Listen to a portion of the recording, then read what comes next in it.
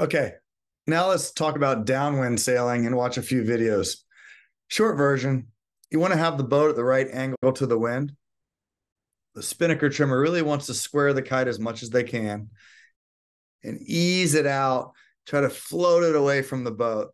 And then after you float it away, you want to rotate it some more if you can, which is difficult. But if you can get that kite away from the boat and then rotate it to windward so it's away from the main and the jib, it's so much faster.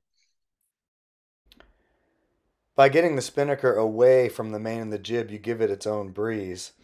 And these high level crews you can see are doing that here in Cabrillo Beach, California training. The crews are really rotating that pole back to square the pole and put the kite in its own breeze.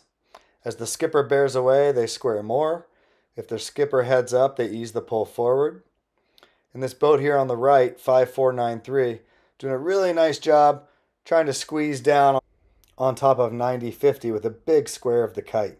You can even see the jib come in a little bit, signifying they're sailing very deep. After that, with those things going on, correct angle to wind, proper kite trim, steering with your weight is huge. If you want to bear away, crew hikes, skipper leans in. If you want to head up, skipper leans out, crew leans in, and you're really steering with your weight. Just like upwind, you want neutral helm. Downwind, you want the same thing. Let's watch some videos.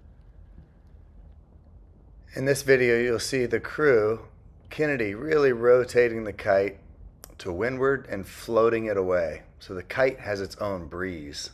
That's beautiful and it's so fast. And you can do it in about seven or eight knots and up.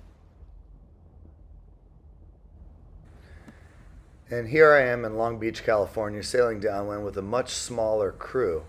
So you'll notice I spend more time inside the boat or sliding in towards centerline to keep the helm neutral.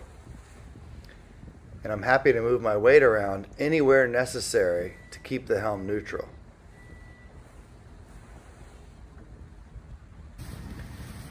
Here, Jack and Marbella again, sailing downwind. And you can see Marbella working really hard, rotating that kite, floating it away, and moving her weight in and out, you know, hiking to bear away, leaning in to head up. Uh, Jack's not moving a ton.